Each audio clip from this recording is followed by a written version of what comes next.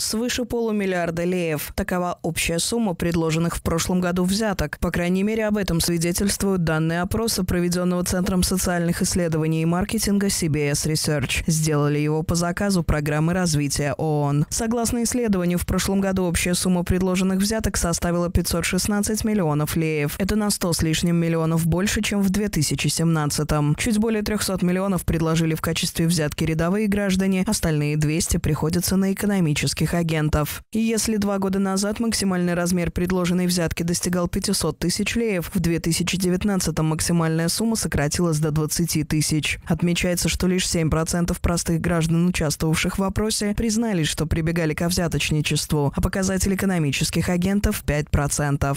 Если в 2017 году предприниматели говорили, что давали взятки по меньшей мере 6 раз в год, в 2019 показатель сократился вдвое, а вот с простыми гражданами ситуация напротив изменилась не в лучшую сторону. Этот показатель наоборот увеличился вдвое за два года. Опрос проводился с 10 июля по 13 сентября 2019 года. В нем приняли участие 1120 человек рядовых граждан, более 500 экономических агентов и свыше 600 госслужащих. Погрешность составляет плюс-минус 4%.